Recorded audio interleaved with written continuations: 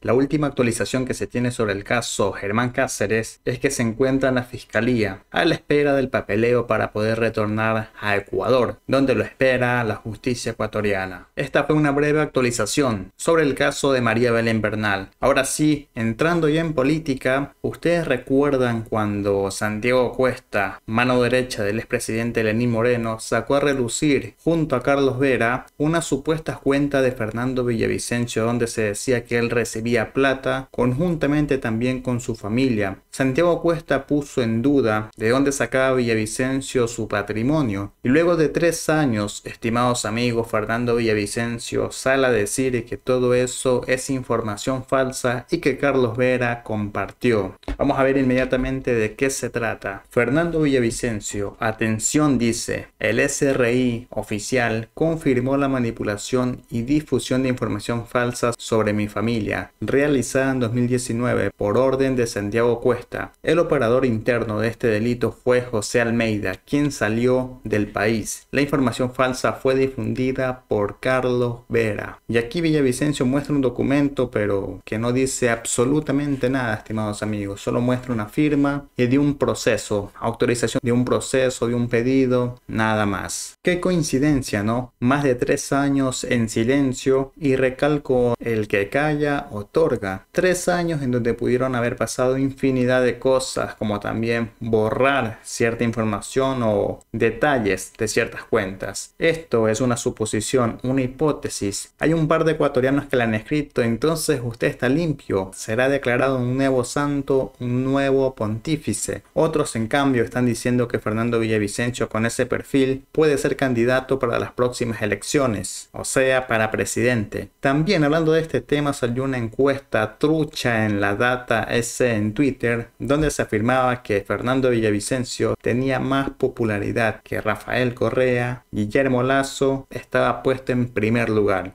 En otro tema, el expresidente Rafael Correa le dio el año nuevo a Guillermo Lazo de la siguiente manera. Lazo es un mentiroso compulsivo en su ambición y vanidad. No le importa dañar el corazón de la gente. En un país desarrollado tendría el repudio de todos, derecha e izquierda.